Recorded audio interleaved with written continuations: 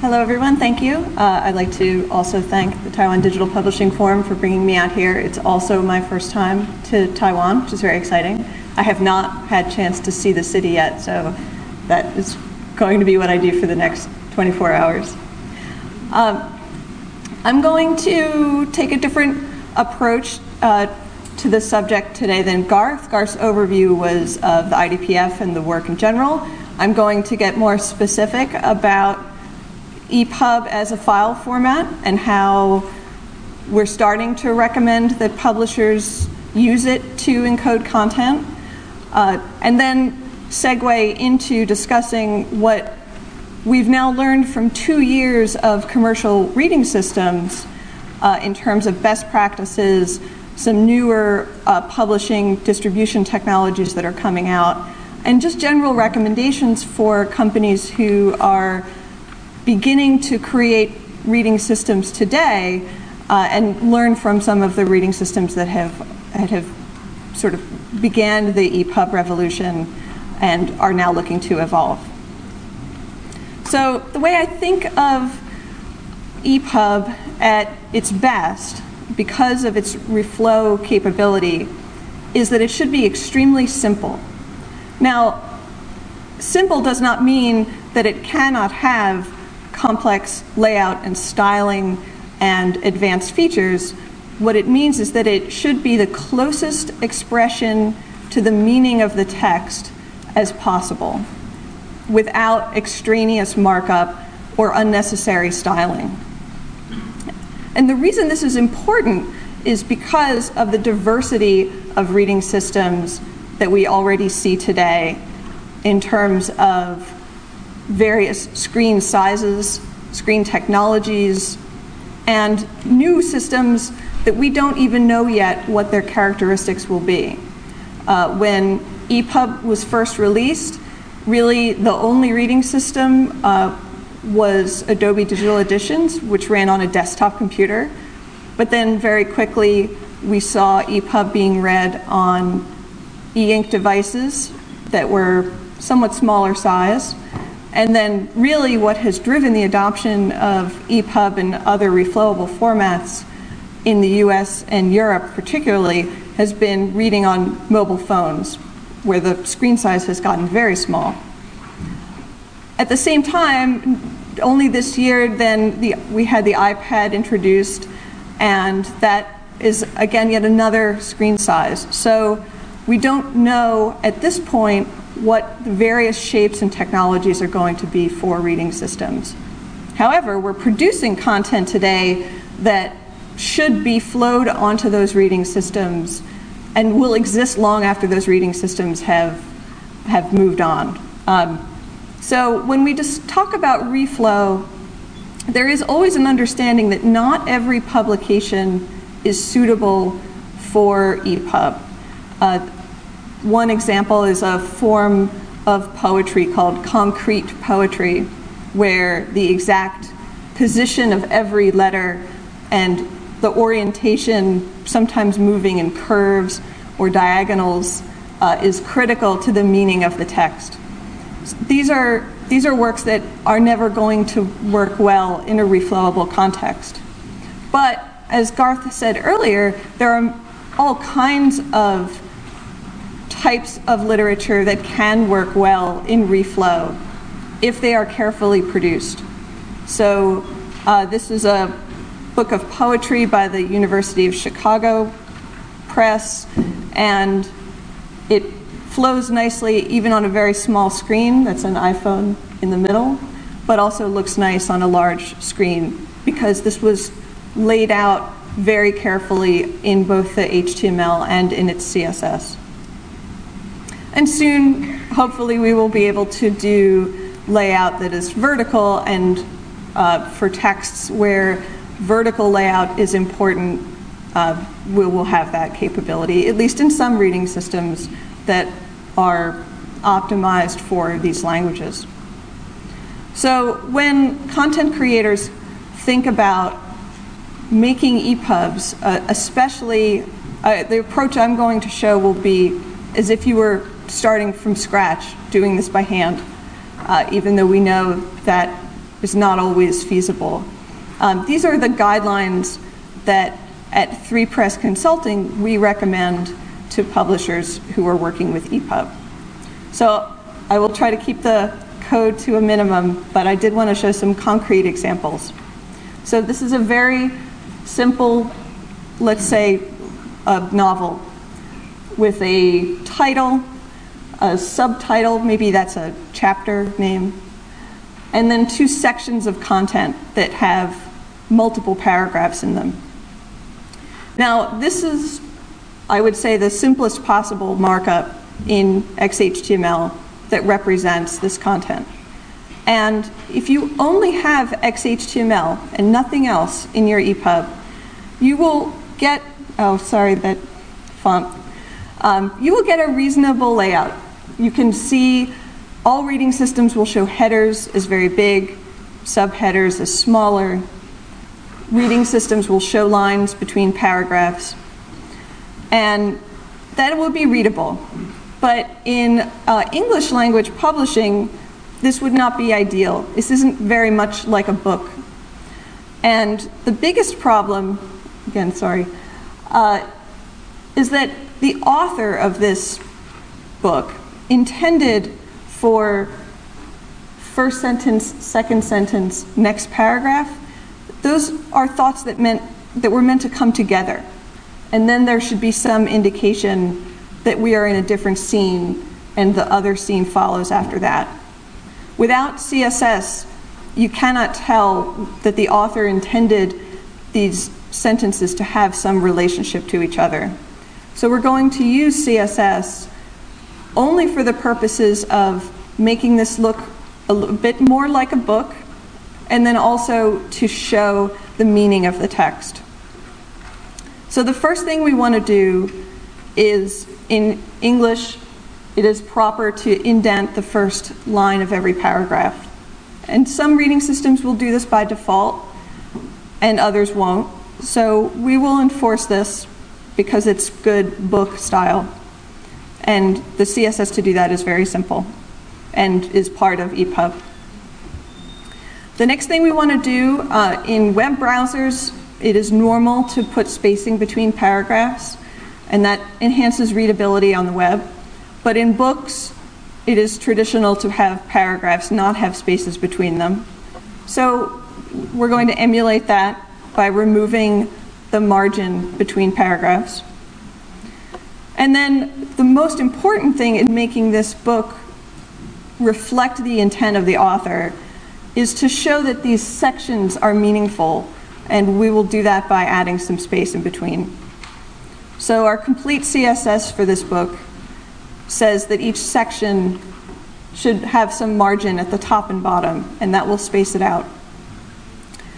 And when we do that, then we get something that looks much more like a, a book should in English, with the first sentence indented and then following sentences wrap around. The two paragraphs that are in the same section are now close together. And then we have this space in between to transition to the next scene. And this way we have preserved the intent of the author. And this is critical in many fiction books to ensure that these kinds of transitions between scenes or moving from prose to poetry or quotations is extremely important in ebook formatting. And what we often see when this kind of thought is not put into book conversions or when they are converted without anyone who understands the work checking the ebook, many times these kinds of uh, critical author intent is lost. So while this is something that we recommend and seems somewhat straightforward, in practice it can be very difficult and expensive to do this. Every time, uh, every time you make changes to an ebook, you need to go through this cycle of proofing the book to ensure that you didn't accidentally introduce errors in the text. Uh, certainly when books are first converted, Proofing is extremely important if they've been converted from PDF or print or other forms where errors can be introduced. An important step is always to then validate the EPUB that you, using EPUB check, which Garth discussed. Then there's the cycle of testing this ebook in some number of e-readers to ensure that the styling looks good in a variety of sizes. And later I'll provide some recommendations for testing. Uh, and then you take the outcome of those tests and put it back into revising the styles or revising the HTML. And for some books, doing this manually is, is okay. They may be, it may be a bestseller, it may be a first release that you want to look as good as possible, but it's difficult to scale that to large numbers of books. So when possible, we recommend setting up systems that can do automatic transformation from some format to EPUB. And ideally, you do that manual cycle of, of hand-authored CSS and testing with just a small sample of the books. And if they're all consistent, because maybe they are journal content or they are books from a series or they're all from the same publisher under the same imprint, often they're similar enough that you can just do testing on the subset and then run automatic transformations. And at this point, uh, because EPUB is now a few years old, we are actually in a good place where many vendors are now experienced with marking up books in a source format, such as the standard called DocBook, that can easily be transformed to EPUB or to PDF for print or some or other formats that may, you know, for example, Mobi, um, that may still be commercially viable and use EPUB somewhere in their workflow.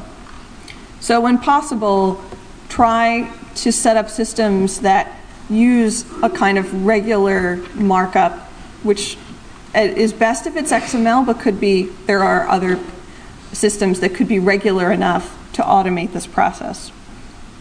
So the kinds of common formats that some publishers are starting with may lend themselves to automatic transformation or not.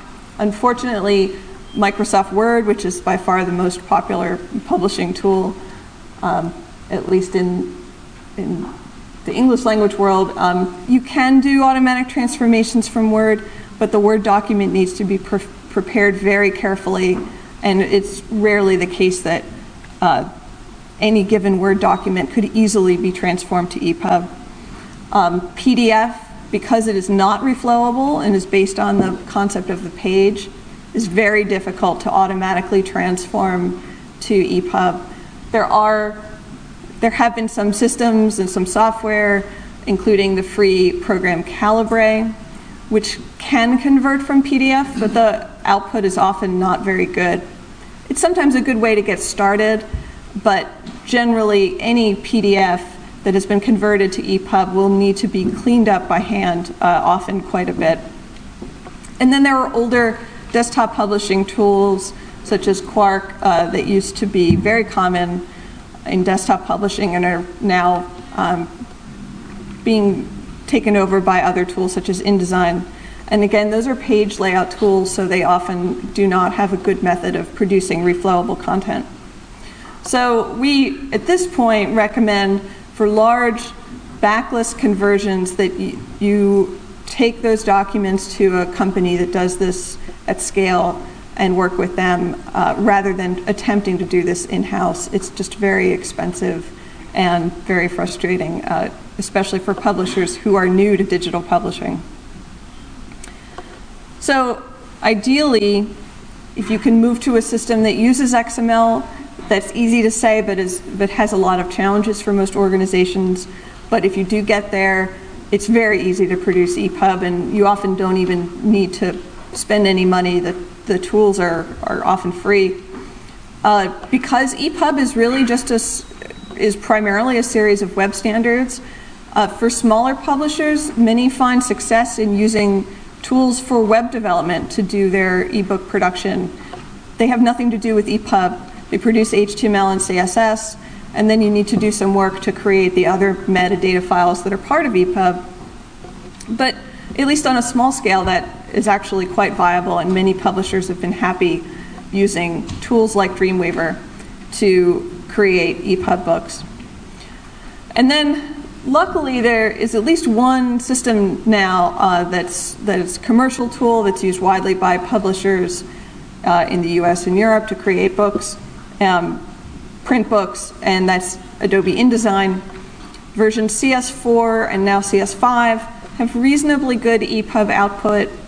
Again, you need to, uh, much like Word, need to create that InDesign file to some extent with EPUB in mind, but it is theoretically possible to produce an InDesign file that can go to print in PDF and to EPUB with a minimal amount of change. It doesn't quite produce perfect EPUB yet, but it's very close. So if you have these, if you're producing publications that look good, you put them out into the retail channels and you hope that when consumers buy them, they'll be readable and they'll have the features that, that we now understand users want out of ebook readers.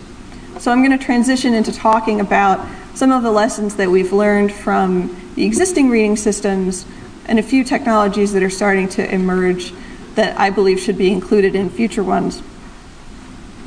So these are, this is a very kind of high level list of the features that every reading system has at one level or another. Uh, it has the ability to acquire books. That might be, as, at the simplest case, is just a way to add an individual EPUB file to the reading system. More commonly, we are seeing reading systems that are tied to a particular bookseller, such as Amazon or iBooks on the Apple products, where the reading system can talk directly to a store. And in some cases, you may or may not be able to add your own content as well. Then once that book is, is acquired, then it needs to be displayed. So uh, the rendering engine part of the reading system is the actual code that lays out that text on the page. Then on top of the text itself, the reading system needs to provide the user with access to that book. And that includes not just how to move from one page to the next, but also how to jump randomly into any point in the book using the table of contents or the NCX. And then the last two items are the places where ebooks become important because they're the ways in which ebooks are superior to print books uh, by providing the user with a way to interact with the text, either by customizing it to their reading preferences or by adding their own content annotations and interest to the book. So, acquisition is that method by which a book, and could be any publication, I just say book as a shorthand, by which a book gets on a reading system. So, it's to me, I feel that it's critical now that ebooks have commercially existed in one form or another for more than 10 years that users be able to bring their own books into their reading systems. Now, we know that DRM, digital rights management, can make that difficult, but at least in theory, an e-reader should allow users to import their own books. And in this, now that it's 2010, I think it's fair to say that that process should be as easy as possible, and if possible, even wireless. So even the revolutionary magical iPad uh, still requires that users plug their iPad into a computer if they want to transfer their own books, not the books from Apple. And that feels very old fashioned. So I would like to see more e readers provide methods to add books wirelessly because they, a user found them on a URL or found, is, found them on their phone and want to send that book to their reading system that might be on a computer. So, what at least the major publish, uh, the major retailers have been good at is the ability to find and acquire for purchase ebooks in their own store ecosystems. And really, no one does this better than Amazon. And it's always instructive and useful to look at their system, even though it is not technically a full EPUB reading system, as a kind of best case scenario for how users should be able to get books onto their device. You, once you're set up, you click once, it beams the book to any of your Kindle devices, uh, which now means uh, could be on a phone, on a computer, on, on their hardware device. And it really could not be simpler. And if you're starting an e reading system backed with a store, you should at least be as, as simple as Amazon. Now, what I think is really interesting and somewhat new is a specification called uh, OPDS, the Open Publication Distribution System. This is a standard that is based on the ATOM format, ATOM. At OPDS is, is being put together by a number of different interests in the ebook space, uh, some nonprofits like the Internet Archive, some ebook vendors and sellers such as Feedbooks, and a number of reading systems already support OPDS as a method for finding and acquiring ebooks. And the URL uh, opds-spec.org has the standard, it's very simple, and some examples on how to implement it. And the idea here is uh, and this, this image is from the Internet Archive that is using OPDS under the name Book Server to describe their vision of an open system for vending, lending, and acquiring books, where any reading system on the left can find books from a variety of sources, including for pay, and add them to their reading systems or even borrow those books from libraries. Now, OPDS does not specify any particular ebook standard. It's agnostic about the type of ebook that is transmitted through OPDS. So it is not specifically about EPUB, and in fact, there is a method in OPDS today to say that a given book may be available in a variety of formats, and that is very helpful for users, say, with a Kindle. Uh, they can browse OPDS catalogs and get Mobi format books, while other e readers may prefer EPUB. But at this point, because ATOM is a, is a widely known internet standard, it's easily understood uh, as XML, and OPDS is built on ATOM with only a few changes, I think it's fair to say that new reading systems should should have OPDS support at a minimum because it's very easy to do and provides a great user experience in terms of making it easy for people to find books. So the second major category of any reading system is going to be uh, the thing that's most obvious, which is its rendering engine, how the text appears on the page. And I'm going to talk just about two, uh, probably the two major reading systems and commercial ebook readers today. Uh, the first is Adobe's, technically the name is Adobe Reader Mobile SDK. And this is the technology that they license to nearly all of the e-ink readers to lay out EPUB content and also to use Adobe's digital rights management system called Content Server 4. On the desktop, Adobe Digital Editions, which is on the right, um, is, is basically the same layout engine. So with Reader Mobile SDK, there are now many bookstores and uh, devices, including Sony, Barnes & Noble to some extent, um, and a number of other e-readers that use this system has a common, mostly consistent rendering across all these different devices and a mostly consistent common DRM scheme. And this was this has been sort of the face of commercial EPUB really until iBooks has come out. And at this point, RMSDK, while it was uh, great for coming out soon and it was fantastic that it was able to be deployed on a variety of e-ink readers, uh, it doesn't have the support of the full support of CSS2 It doesn't fully render everything that is in the existing version of EPUB, and it certainly does not render some of the CSS3 or HTML5 that's very likely to be in the next revision of EPUB. So we'll see some kind of replacement for this, either wholesale or incremental uh, in the next few years.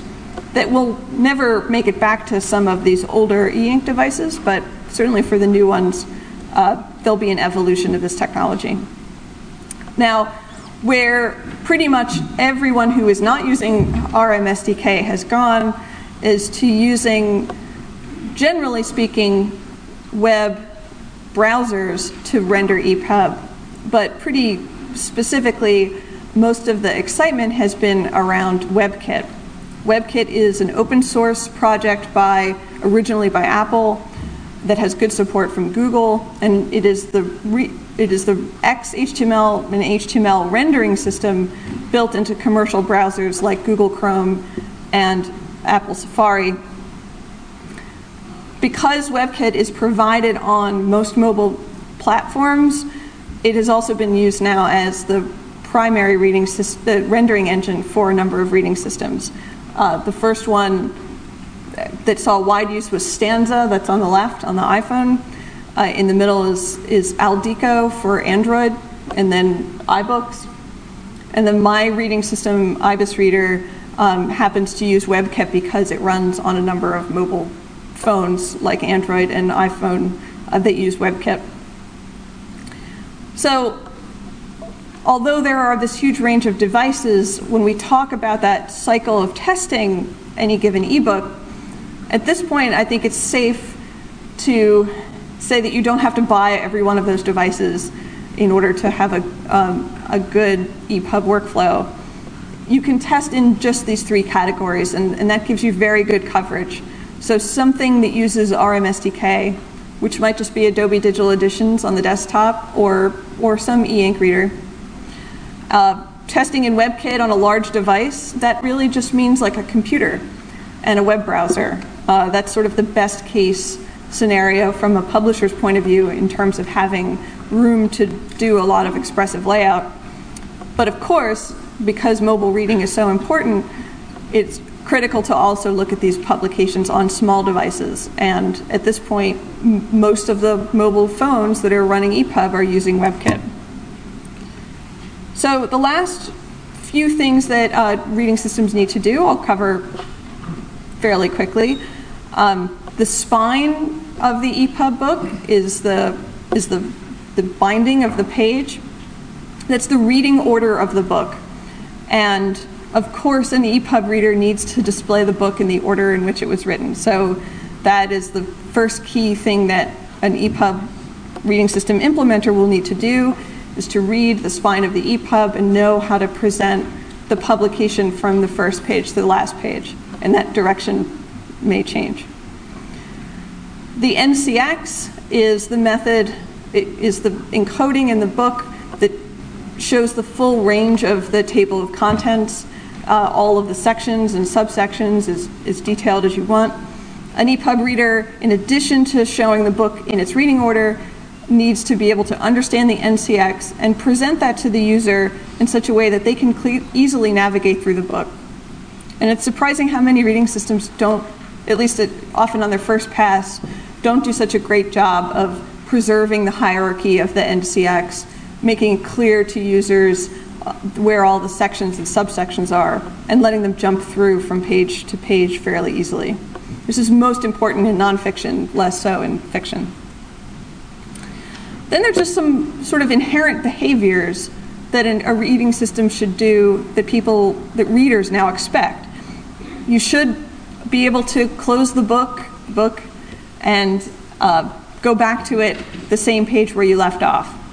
Where that gets interesting is that many e-reading systems now are really systems, meaning they're not a single program running on a single device, but they're an ecosystem. So Kindle is probably the easiest example of a reading system that can be deployed and read by consumers on a variety of devices the same feature of remembering where you left off should apply no matter what you're reading. And many reading systems now will do this. If you have read on your computer and then you pick up your mobile phone, while on the subway, it should remember that you left off most recently on your computer. And then at this point, most reading systems are still paginated. They reflect the way we expect a printed book to have a single page and then stop and then move to a next page. Not all reading systems are paginated. Some scroll more like a web browser. Some others show just a line of screen at a time, e- either for uh, to help people with reading disabilities or, in fact, because sometimes that's a faster way to consume content. But if they do paginate, it should be quick and accurate. And that also turns out to be surprisingly difficult. And some reading systems, even commercial ones, do not do a great job at being both accurate and quick. Then the number of customizations that users are allowed to do is, is somewhat um, is an interesting tension in the ebook world because you have the competing interests of the publisher and the book designer who think a book should look a certain way, and users who may want to change everything about that layout. But because it's an ebook, you must always give the user some level of customization, and some e-readers choose to let users customize everything, and some just let them customize a few basic things. But I think these are these are the ones that are critical. Font size is just absolutely non-negotiable. You e-readers must let users make the fonts larger and smaller. That is just part of reflow, and it's one of the key features that that people love about ebooks. They can make the font bigger when their eyes are tired or if they're an older reader. Then the changing the family of the font is, is controversial. Some, there are reasons why that can be difficult to do correctly, but again, that's increasingly common. Um, letting users change the colors of the screen and the text is mostly important for night reading, and uh, I did a lot of this on the plane over to Taiwan. You put the text in black and the, I mean, the, the background in black and the text in white, and that just makes it easier to read in, in, in the dark and not disturb people. But then also, it, just as important as providing all these customizations is having good defaults to begin with. So the book should look great when the user opens it. They, if they want to make strange changes to it, uh, you should allow them, but the book should be rendered with good fidelity at the beginning. Then annotations. Uh, this is some, it's not clear yet how much of what's on the slide is going to end up in the next revision of EPUB. Right now, this is all up to the reading system. But some of the things that, some of the features that are common are book, the ability to bookmark any page and come back to it and have a way to browse those bookmarks. Also, import and export those bookmarks across, again, different versions of the reading system you know, on your phone, on your computer. Highlighting and note taking is increasingly just a, a core feature that must be included. Uh, dictionaries support, again, may be part of EPUB um, in the coming revision, but another feature that's, that's common. And it would it will be interesting if EPUB allows users to change that, even the dictionary that they use to look up words. Currently, e-readers just will supply a dictionary. And then whether users can share and export those annotations into different ecosystems or cross uh, share them with friends is a feature that some reading systems are starting to introduce, but is still fairly early, and there's a lot of room for innovation and experimentation there. So, the summary for reading systems, if you're going to build one, uh, you have to let users do a certain amount of customization. It's, I think, a fair decision to know how much of that customization to limit, but some things are just have to be up to the user. At the same time, you need to negotiate with, with the author, with the original text of the book, to make sure that whenever possible, you're honoring what was in the publication and letting the user make overrides only when necessary. And then again, it has been surprisingly uh, hard for even some big companies to do. It should, should be fast, it should work well, it should be accurate, and it should be created with the hardware limitations of its device in mind. So when we combine EPUB, a good EPUB and smart reading systems, we get this level of customization that also should work well with the original publication. We get the ability to acquire and add books from our libraries very easily, to move those books from one reading system to another, to provide methods for reading that are have historically been lacking for people with disabilities. This is just a case where ebooks are manifestly better than print. And so if you have done all of this work, you get an ebook that's better than you get an ebook system that's better than print, and that should be the sort of foremost goal in developing these. If it's worse than print, if it doesn't look as nice, if it's slow, then we've failed. But there are so many options for doing innovations in ebooks that you need to start with these fundamentals and then do experimentation from there. So thank you very much.